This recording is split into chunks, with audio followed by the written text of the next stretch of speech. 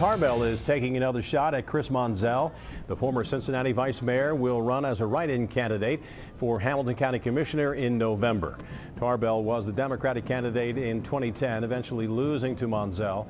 Some Democrats wanted a more high-profile name on the ballot after the fallout from the Icon tax levy.